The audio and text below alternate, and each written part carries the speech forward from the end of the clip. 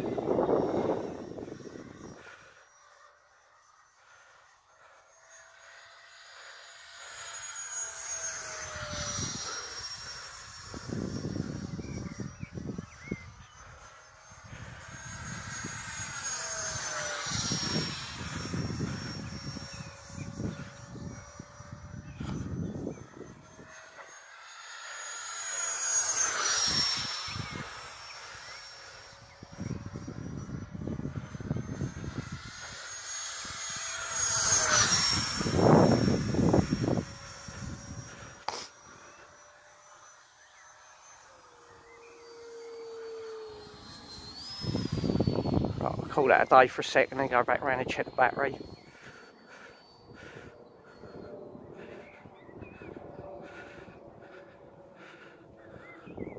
She's going to glide like that.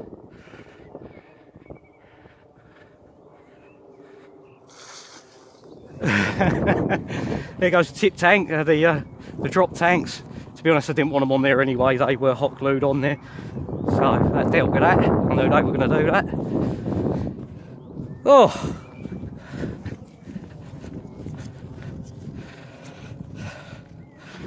I think we're all good. Yeah, all good. Oh, we're a little bit, a little bit puffed on the 60C. ESC, ESC still cold. Right. Hey, yes happy about that. I uh, had my doubts about that. So that's the uh, that's RC Lander 10 bladed uh, full alloy unit with a, I think it's a 3000 kV in there. Um, and that's running on a 60C uh, zippy compact. I mean, the zippy compact ain't all that strong anyway. I did expect it to puff a little bit. It did that uh, in my rare bear as well. But yeah, CG weren't too bad. I can't pull the battery forwards no more because the canopy hatch won't shut. So uh, just a case of putting another 10 grams in the nose, I reckon. 10, 20 grams in the nose. Right, well, I'm totally, totally happy about that, guys. That sounds lovely. I don't know if I'm going to bother going to 6S for the minute. I'll just fly around like a sport jet, nice and easy to uh, chuck in the car and, uh, and hand launch that one. So, really happy about that. Thanks for watching.